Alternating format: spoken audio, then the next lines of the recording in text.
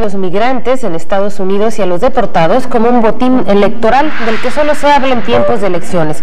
Esto lo dijo la ex candidata a la presidencia de la República, Josefina Vázquez Mota, en la conferencia que impartió en el marco de Tijuana Innovadora.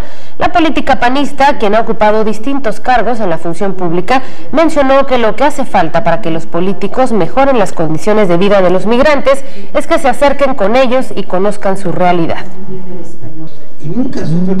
Lo voy a decir abiertamente. Muchísimos políticos van a Estados Unidos, pero no conocen a la comunidad.